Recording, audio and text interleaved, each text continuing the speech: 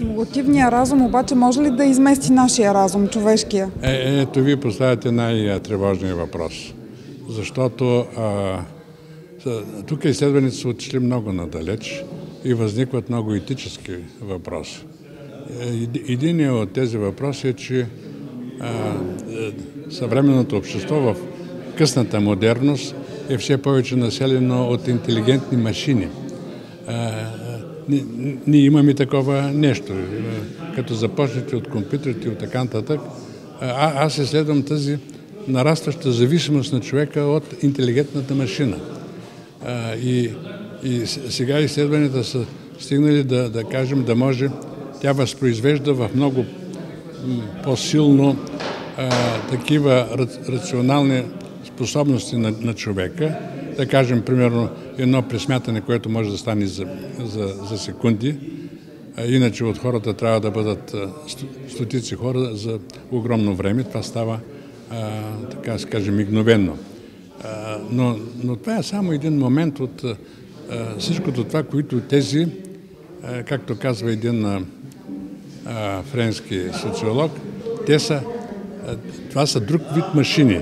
Не просто решават физически неща, да кажем, какъвто е камиона, колата и така нататък, а те възпроизвеждат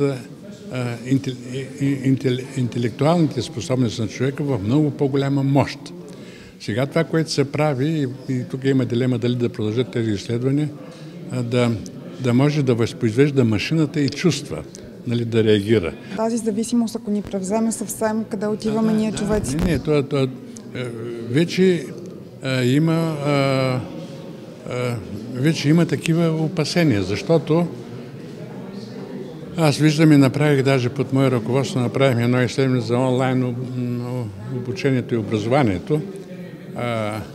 И една от основните неща, което формулира като извод е, за съжаление, не е изследвано и в миналото, в философия, в а, а, социология на образованието, в други науки, в университета какво се получава? Знание и умение за мислене. Но в университета, извън програмата, става едно нещо, което е също така важно. А това друго нещо е научаване на общуване. Сега, когато а, ние имаме тази опосредственост от интелигентните машини, какво става?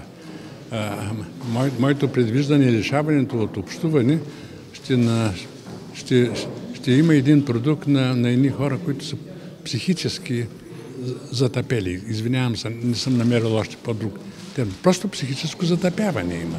След като този човек, който ни общува, той знае много, а, нали, може, може много, но а, да, да, да, това е думата.